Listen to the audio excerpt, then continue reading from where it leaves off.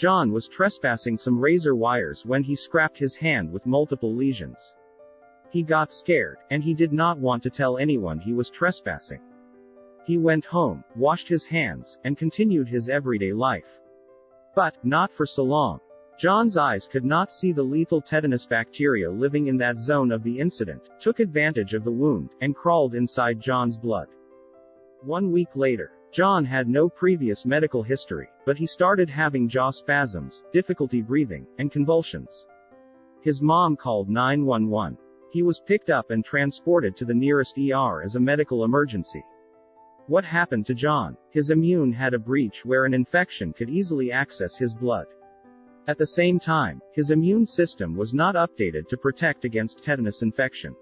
Pathogens, which are germs that cause us diseases. Such bacteria, viruses, fungi, and parasites are all trying relentlessly to assault our bodies. Be careful, my friend. These hostile microbes are all after you. On the other side, the immune system is our defense mechanism. If you hear the word immunology, it means the science of the immune system. We recognize three distinct functions of the immune system.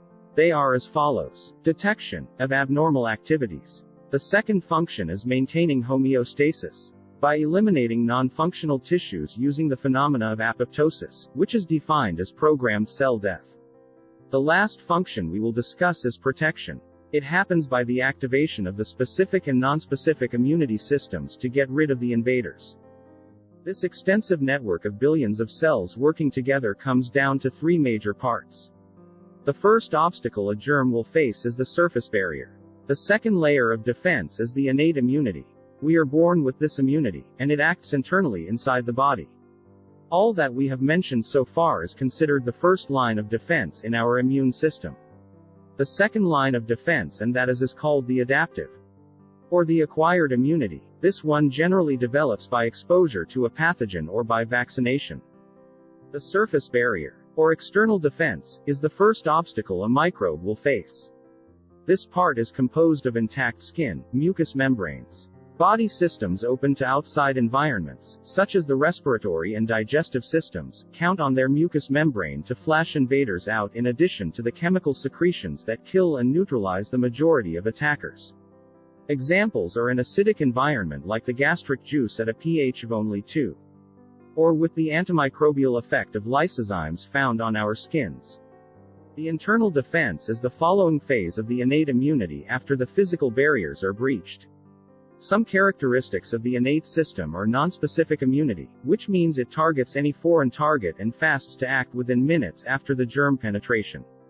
The innate response is inherited, and it is challenging for an infant to survive without a functional system after birth.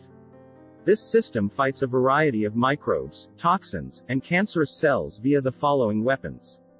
The phagocytosis by some leukocytes. The secretion of antimicrobial proteins. The activity of natural killer cells takes the responsibility of eliminating infected and developing cancerous cells within our bodies.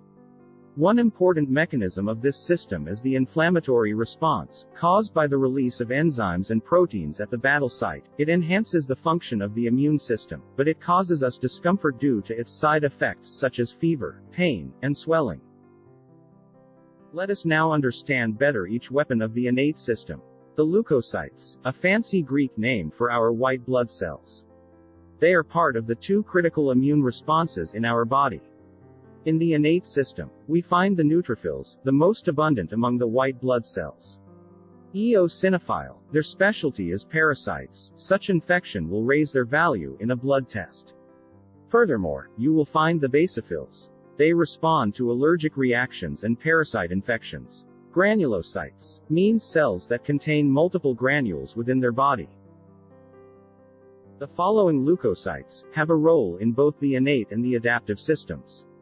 Macrophages, dendritic cells, natural killer cells, and the lymphocytes. We will understand better the role they play in a moment.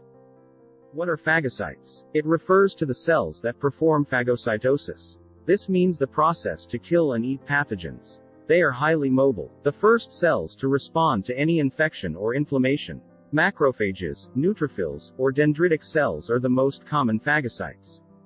Once they swallow the germ, they will represent the identification of those microbes that is what we call MHC2. Major histocompatibility complex, also known as human leukocyte antigen and abbreviated as HLA.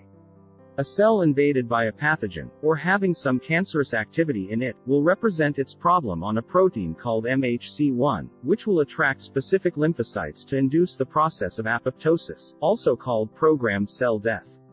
Now, what is MHC2? When a phagocyte eats a pathogen, it will disintegrate the proteins of that germ, and it will present it on its surface in the form of a protein called MHC2. This representation will alert the adaptive system for the next steps in the immune response. A cell that is carrying MHC2 is called a professional antigen presenting cell. The adaptive system acts when the innate system fails to eliminate the problem. Some characteristics of this system are slow response, specific targeting, and it stores the information for a faster reaction next exposure. The acquired immune system is made of two parts. The cell-mediated response contains T cells that mature in the thymus. And the humoral response is controlled by activated B cells and antibodies. These cells develop in the bone marrow. The cell-mediated system count on two significant cells. The cytotoxic T killer, and the helper T cells. A naive T cell is inactivated, which means a cell that has not been introduced to a pathogen yet. Once the dendritic cell introduces a MHC2 to the T cell, the helper T becomes activated. It is also called effector T helper. This cell does not kill, but it can now produce cytokines. This chemical will trigger an alarm in the entire immune system to promote other cells to work harder to fight the current pathogen. Part of the activated T cells will turn into memory T helper cells. These cells will store the information about the pathogen for future exposure to build a faster reaction next time. The same applies to the cytotoxic cells. Dendritic cells carrying the proper MHC2 will activate the T killers. In turn, they will give birth to the effector T cell. Part of them will turn into memory cells. Effector T cells have a straightforward job. They will look for cells with MHC1 that shows altered activity, and they will induce apoptosis to get rid of the cell and all the pathogens within it. The B cells are the main component of the humoral response. To activate a naive B cell, it needs to bind to an antigen, which is the protein found on the microbe's surface, and it requires an activated T helper cell to bind to this same B cell before it gets activated and produces effector B cells. These cells are also called plasma cells. They are known as antibodies factories. They produce antibodies to kill pathogens. This explains why this system is also called antibody-mediated. Activated B cells give rise to memory cells that store the information about the pathogens for the following exposure. Antibodies are soluble proteins. We recognize several classes of antibodies. Each of them has a different specialty, they float around, and they bind to specific pathogens. They tag it as a GPS pending for a phagocyte to come and destroy it. This marking process is called opsonization. In some cases, antibodies can destroy the germ on their own. First, John scratched his arm against a metal. This eliminated the physical barriers, which are the skin and the membranes of the vessels. The bacteria found its easy access to the bloodstream.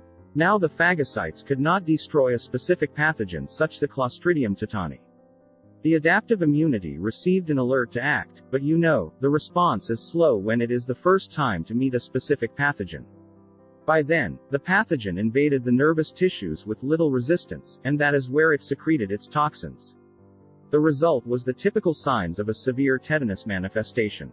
We will discuss the inflammatory process in the following related lessons, and we will provide more in-depth descriptions for the leukocytes and the antibodies, and more. We now have come to an end. If you enjoyed our content, please like and subscribe. To support our channel, share the content with your family and friends and let us know in the comments below what impresses you the most about our human body.